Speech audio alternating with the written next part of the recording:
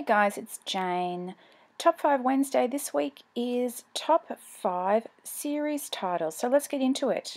Number 1 is a series that begins with the beautiful and haunting The Shadow of the Wind.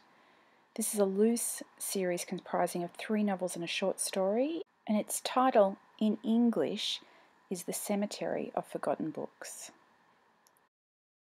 Number two is a series I'm still in the process of reading. It's Margaret Atwood's sci fi series beginning with Oryx and Crake. This series uh, takes the unusual step of naming itself after its third book. This is the MaddAddam trilogy, and um, I had to choose that. You can't not choose a palindromic name. Oh, plus, this actually spawned its own video game, so how about that?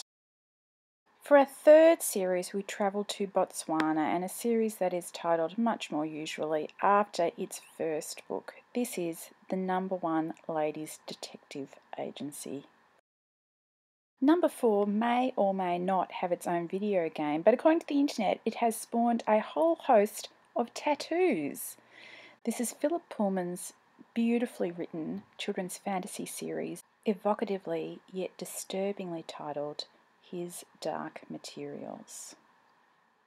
And number five is a series written by probably the only author ever to teach Michael Caine to break an egg. It is Len Deighton's fantastic Cold War spy thriller trilogy, Hook, Line, and Sinker.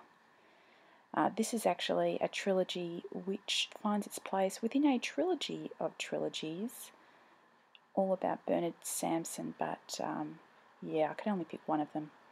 Hook, line, and sinker it is. That's me. That's Top 5 Wednesday. Hope you're all well. Talk to you later. Bye.